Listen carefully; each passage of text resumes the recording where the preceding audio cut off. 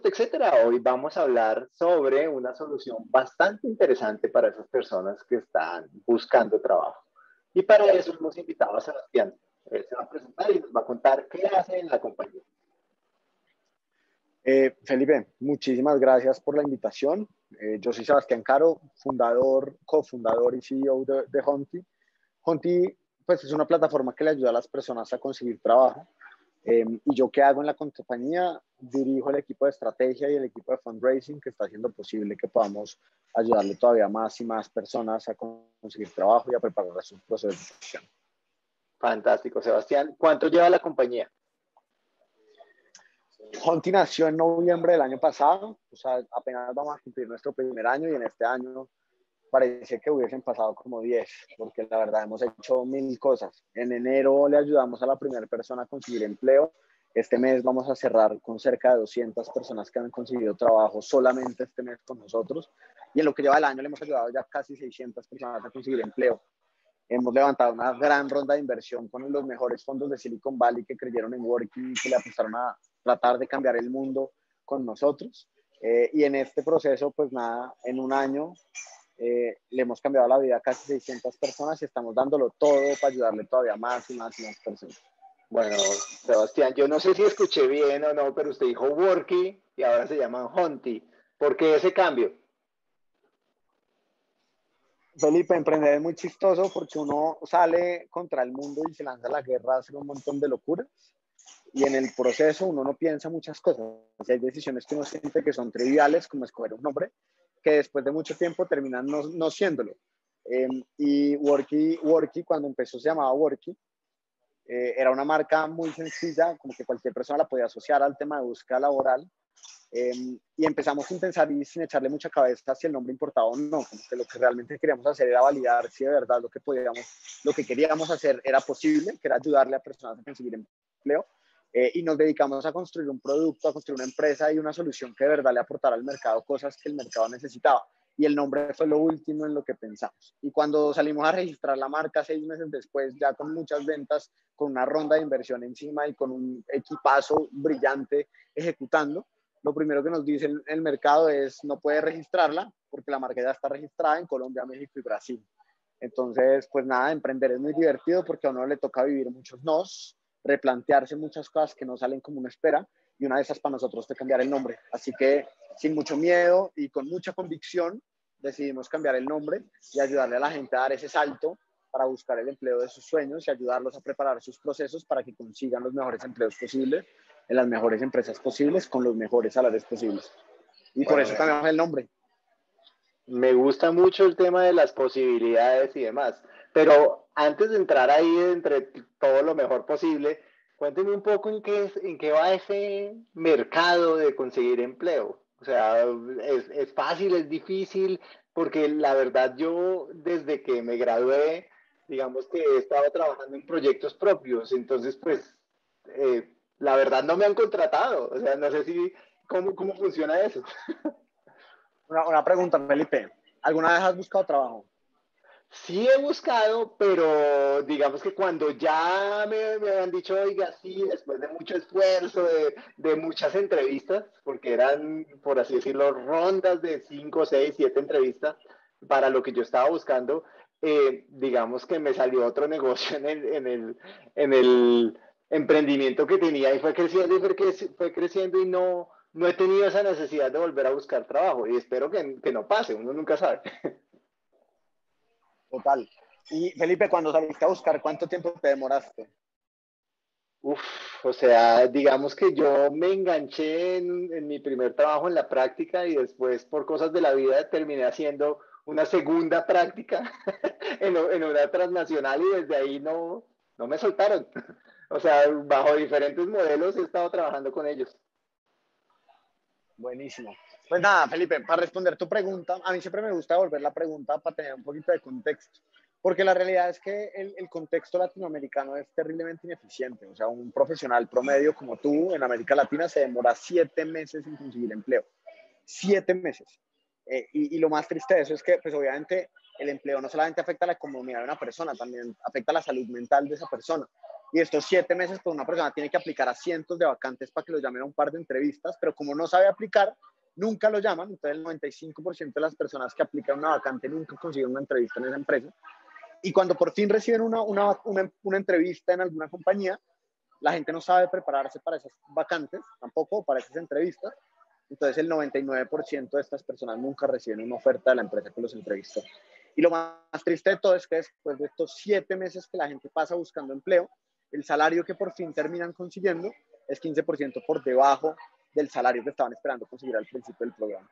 Entonces, solo para darte unas cifras de contexto, para un profesional sin empleo en Latinoamérica, es terriblemente complicado conseguir un trabajo. Y todos, todos, yo creo que todos en la América Latina tenemos un amigo, un familiar, un vecino, una persona que conocemos que sabemos que ha tenido problemas a la hora de buscar empleo. Nosotros vimos, esta vaina es irresponsable, es súper ineficiente y cómo es posible que no exista nadie ayudándole a esta gente. Porque lo más triste de todo es que cuando la gente sale a buscar ayuda y dice, listo, llevo cinco meses buscando y no tengo trabajo y no sé cómo conseguirlo, voy a buscar ayuda, se dan cuenta con que el mercado es completamente B2B las soluciones que existen le ayudan a la empresa a contratar, pero nadie le ayuda al candidato a conseguir empleo. Entonces estamos hablando de un mercado en donde a la gente le toca sola enfrentarse a siete meses de incertidumbre sin nadie que los ayude, con un mercado que le ayuda al empleador, pero nunca al empleado. Y ahí nosotros decimos, venga, si en Latinoamérica no hay nadie que se ponga la 10 por esta gente, que les ayude a preparar su discurso, a mejorar su desempeño en entrevistas, que les enseñe a aplicar porque es que además de todo nadie nos enseñó a buscar empleo, pues venga, lo hacemos nosotros y decidimos ponernos la camiseta de Honti y salir a gritarle al mundo que es posible ayudarle a las personas. Y en ese proceso estamos cambiando vidas, tratando de dar la vida entera para poder ayudarle a más y a más personas. Y preparando a mucha gente para que conseguir empleo no sea tan complicado. Bueno, Sebastián, yo tengo la pregunta del millón de dólares y dado que yo no estoy en este mercado como tan curtido, ¿sí? Eh, seguramente la, pregunta va a ser supremamente básica, ¿sí? Pero ¿en qué se diferencia esa oferta de Honti versus lo que tenían compañías como el empleo, por ejemplo, en su versión premium, que en teoría le ayudaba a uno a ser más visible en esas búsquedas? Felipe, eh, es una muy buena pregunta y, lo primero que tenemos que entender es un poquito el contexto de la industria tradicional. La industria tradicional se divide en diferentes tipos de canales y diferentes tipos de servicios para diferentes tipos de problemas. El primero de estos, que es tal vez la industria más conocida, es la de los headhunters. Una industria súper tradicional que se encarga de cobrarle a las compañías para salir a buscarle candidatos. Pero al cobrarle a las compañías, su negocio tiene que optimizar directamente para ayudarle a la compañía a contratar mejor talento, no ayudarle al talento a conseguir empleo en buenas compañías, ¿cierto? Y por otro lado, esta, estas mismos headhunters siempre se han enfocado por temas de coste de oportunidad en perfiles de muy alto nivel, ejecutivos, gerentes y vicepresidentes de compañías, porque como estas compañías ganan a éxito, entonces yo te consigo un vicepresidente y tú me pagas solamente cuando lo contrates, ¿cierto? Eh, pues por costo de oportunidad es mucho más fácil ubicar vicepresidentes que ganen 10 mil dólares al mes que buscar analistas que ganen 500 dólares al mes.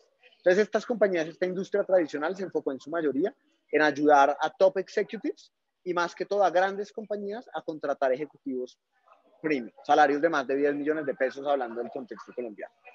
Ese, eso por un lado. Por otro lado, hay otra industria también tradicional que se llama, que es la industria del outplacement. Y hay grandes compañías muy buenas como LHH, eh, que hacen, que literalmente le ayudan a las empresas que están sacando personas de sus empresas. O sea, yo desafortunadamente tengo que hacer un recorte de personal, entonces tengo que despedir a 200 empleados, les compro un plan de, ordena, de, como de orientación vocacional para que mis empleados o mis ex empleados no queden a la deriva solos, sino que tengan un proceso de guía de un experto que sabe cómo ubicarlos en el mercado. ¿Cuál es el problema de estas empresas? Otra vez, en su mayoría son compañías que le cobran a otras compañías, entonces le venden a otras empresas procesos de ubicación laboral para las empresas, para las personas que despiden, Dos, son empresas que también cobran altos costos anticipados. Entonces, si tú eres un candidato que lleva cinco meses buscando trabajo, pues para ti es imposible pagar 8 millones de pesos o 2 mil dólares o 4 millones de pesos para que un coach te ayude a preparar tu proceso, pues porque tienes que pagar la tarjeta de crédito, la hipoteca y un montón de otras adicionales, porque pues tienes que comer, el arriendo y todas estas cosas pues no paran. Entonces, digamos que para una persona de verdad es muy difícil hacerlo. Y en el otro lado, pues están enfocados otra vez en empresas y les cobran las compañías. Eh, y por último, están todos estos portales de empleo que si bien te sirven como canales de adquisición para conseguir entrevistas y poder aplicar, nunca en la vida te van a enseñar cómo contar bien tu historia. Nunca en la vida te van a decir cómo mejorar tu hoja de vida para que te llamen a una entrevista. Nunca te van a decir cómo tener un buen perfil para ser atractivo para, para, para reclutadores. Entonces, en el proceso lo que vemos es lo siguiente, vemos un mercado gigante, 30 millones de personas en América Latina buscando empleo todos los años, que no saben cómo buscar empleo porque nunca nos enseñaron, entonces no saben hacer su hoja de vida, su perfil de LinkedIn no necesariamente es el mejor, no saben cómo aplicar de cara a poder de verdad conseguir entrevistas y cuando por fin llegan a las entrevistas no saben cómo comunicar sus fortalezas ni tampoco sus debilidades. Entonces acá hay una oportunidad gigante porque estas 30 millones de personas están pasando 7 meses en promedio buscando empleo. Y nosotros con tecnología nos proponemos, uno, cobrarles únicamente por resultados que no paguen sino hasta que consigan empleo. ¿Qué quiere decir eso? Que Worky les invierte en ellos el tiempo que tengan que invertir, el dinero que tengan que invertir para poder enseñarles a preparar su proceso de selección de la manera correcta y hasta que no consigan trabajo no les pagan. Uno.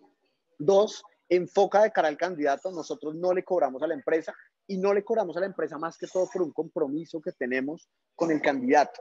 Nosotros queremos que el candidato le vaya bien. Si nosotros le cobráramos a la empresa, tendríamos que optimizar de cara a las compañías y eso no queremos hacerlo. Y eso es súper importante. Entonces, por un lado, cobramos no anticipado, sino a éxito. Por otro lado, nos enfocamos únicamente en el candidato. Y en el último lado, utilizamos tecnología de clase mundial y estamos creando un equipo de clase mundial de tecnología que nos está ayudando a crear soluciones y herramientas que le permitan al candidato preparar su proceso de selección, aplicar de forma más inteligente y medir cada una de las aplicaciones y de las compañías a las que está aplicando. Y en ese proceso somos capaces de reducir esos siete meses que una persona busca empleo a cerca de 45 días promedio. Y también estamos aumentando el salario promedio de nuestros aplicantes de 30, en un 31% comparado con su salario anterior. Entonces, básicamente así es como nos diferenciamos. Bueno, venga, aquí me, surgen muchas dudas, ¿sí? Lo primero es, cuando usted dice que se le cobra al candidato, que, está sin plata, ¿cómo, le cobran? O sea, ¿es un, ¿es un porcentaje, es un monto fijo? ¿Cómo, le cobran? Excelente. Como el modelo de work es a riesgo, quiere decir que nosotros invertimos en el candidato. Hunt invierte en el candidato un número de horas, mucho tiempo, le entrega a cada candidato un mentor personalizado que le ayuda a preparar su perfil, su perfil de LinkedIn, a mejorar su hoja de vida, a preparar simulacros de entrevista. Todo esto nosotros lo invertimos en el candidato y el candidato únicamente va a pagar esto cuando consiga empleo. Antes de conseguir empleo, el candidato no va a pagar absolutamente nada. ¿Qué quiere decir esto? Que como es un modelo a riesgo, a nosotros nos gusta el gana y gana. Quiere decir que entre mejor le vaya al candidato, mejor nos tiene que ir a nosotros también. Entonces, toda nuestra tecnología optimiza de cara a ayudarle al candidato a conseguir el mejor empleo posible, de acuerdo a sus competencias, experiencia y todo lo que ha hecho, con el mejor salario posible en el menor tiempo posible. Entonces, en promedio hoy en día estamos ubicando candidatos en 45 días, o sea, un candidato entra a Honti y 45 días después está consiguiendo empleo en promedio, como para que te hagas una idea, y al mismo tiempo están ganando mucho más en salario, 31% por encima de lo que ganaban en, el, en, su empleo anterior. ¿Cuánto tienen que pagar por esto? Ellos pagan un salario de su nuevo trabajo, un mes de salario de su nuevo empleo, diferido en hasta tres cuotas sin interés. Pero si uno calcula el tiempo que se ahorran de buscar empleo ya no son siete meses, son 45 días, más el salario que aumentan. Eh, cuando uno hace esos cálculos, nuestros candidatos están recibiendo 5.5 salarios adicionales al año después de haber entrado a Work, a Honti. ¿Qué quiere decir esto? Que al final del día Honti se paga solo. Pagan un, un salario, pero están recibiendo 5.5 salarios en promedio. Entonces, al final del día, sabemos que nuestros usuarios salen amando la marca, y nos recomiendan con sus amigos, vecinos, familiares, porque al final del día Worky Hunty les ayuda a conseguir empleo, a preparar el proceso de selección y a recibir ese tan anhelado sí que llevan meses buscando. Bueno, sáqueme de otra duda. ¿Cómo la pandemia afectó a esta área de, por así decirlo, del empleo, de conseguir, ofrecer y demás? La verdad es que Honti nació en pandemia, ¿no? O sea, Honti nació, eh, a ver, la pandemia para muchos pudo haber sido lo peor que pudo haber pasado en la vida, Eh, pero para los emprendedores que buscamos oportunidades en todos los problemas, fue la mejor oportunidad de nuestra vida. Nosotros vimos cómo la pandemia acabó con millones de empleos. Colombia llegó al 20% de desempleo. Estados Unidos llegó a tener 20 millones de personas desempleadas, algo nunca antes visto en la historia de la economía mundial. Em, y en ese sentido nosotros dijimos, venga, ¿será que nosotros con tecnología somos capaces de ponernos la camiseta de ayudarle a esta gente a conseguir trabajo? Y después de mucho esfuerzo, iteraciones, muchísima experimentación, pues lo estamos logrando. Eh, entonces, si usted me pregunta a mí cómo la afecta, la, afecta la pandemia a lo que estamos haciendo, fue el mejor momento del mundo porque le permitió a la gente, uno, entender que los procesos de selección no necesariamente tienen que ser presenciales. Yo no, yo no tengo que meterme en un trancón de una hora para llegar a una entrevista de trabajo. Puedo tener tres entrevistas de trabajo desde mi casa, haciéndolo por Zoom, así como lo estamos haciendo en esta videollamada. Uno. Dos, me permitió democratizar el acceso para que cualquier persona en cualquier parte de Colombia o de Latinoamérica se conectaran con cualquier mentor en cualquier parte de Latinoamérica que le enseñara a las personas a preparar sus procesos de selección, los simulacros de entrevista y todo lo que le contaba ahorita. Y tres, nos mostró un, un montón de compañías muy generosas deseosas de querer contratar y ayudar a personas que estaban desempleadas. Entonces, cuando uno mezcla grandes compañías buscando talento con mentores que están listos para preparar y ayudar a candidatos para preparar esos procesos de selección y con candidatos necesitados de buscar empleo, esto con mucha tecnología, pues es un mercado perfecto en donde vemos una oportunidad gigante para cambiar la vida a millones de personas y al mismo tiempo pues para crear un negocio muy bonito que que le enseña a las personas cómo buscar empleo de forma más eficiente. Bueno, me encanta lo que está diciendo. Ahora, a la gente muchas veces le gusta entender cómo ayudan ustedes en casos difíciles. Entonces sería ideal que, me cuente cuáles son las ofertas más fáciles, por así decirlo, de, de, posicionar y cuáles son las más difíciles, como para que la gente diga, oiga, soy un caso que, que por así decirlo, vale la pena o no. Em, hay de todo, de hecho. Pero lo que nosotros nos hemos dado cuenta que más afecta a la búsqueda laboral siempre es la actitud. Siempre es la actitud. Una persona con actitud y con ganas, y con ganas de comerse el mundo, con hambre, consigue empleo muy fácil. Entonces, algo que nosotros trabajamos mucho dentro de Honti cuando los candidatos entran al programa es ese boost moral. Queremos que el candidato entre y recuerde que el man es bueno, que efectivamente puede comerse el mundo, que nada le va a quedar grande y que juntos vamos a lograr esto. Eh, y es algo en lo que trabajamos mucho, tratamos de motivar mucho, mucho a los candidatos. Ahora, hablando ya puntualmente de áreas, claramente las áreas de tecnología son muy fáciles de placear, de, ubicar laboralmente, porque hay mucha oferta. Em, hay muchas personas, por ejemplo, no sé, recién egresados de universidades de carreras como ingeniería de sistemas o que se están enfatizando en temas de producto tech, Em, que se ubican muy rápido y sobre todo con muy buenos salarios. En promedio nos estamos demorando 25, 27 días con estas personas sin conseguir empleo y los salarios son increíbles. Hemos logrado tener personas que después de su expectativa salarial han duplicado o triplicado el valor que definitivamente les terminaron pagando las compañías que los contrataron y eso obviamente nos encanta. Y los más retadores pueden ser hay, hay, hay, toda una industria ultra tradicional, antropólogos, músicos, artistas, que pues claramente el mercado no, no, está listo ni tiene muchas vacantes para estas personas. Y también hay gente pues muy retadora que nos encanta asumir ese tipo de retos que quieren hacer transición de industria. Entonces yo, por ejemplo, toda la vida he sido contador, pero ahora me quiero dedicar a ser desarrollador de software porque aprendí en Platzi y quiero entrar a una startup. Y nos encantan esas personas, esos retos, esas personas que dicen, oiga, mi industria tal vez se volvió un poquito más obsoleta, me quiero pasar a una industria mucho más digital o mucho más tecnológica, que es para donde va el mundo, eh, y que dicen, soy abogado con maestría y 10 años de experiencia, pero ahora quiero ser product manager. Y se meten a todos los cursos que necesiten y vienen a Work y después de eso y nos dicen, ahora sí, ayúdenme a conseguir empleo. Y es un reto, porque claramente, pues está, no es gente tan fácil de ubicar.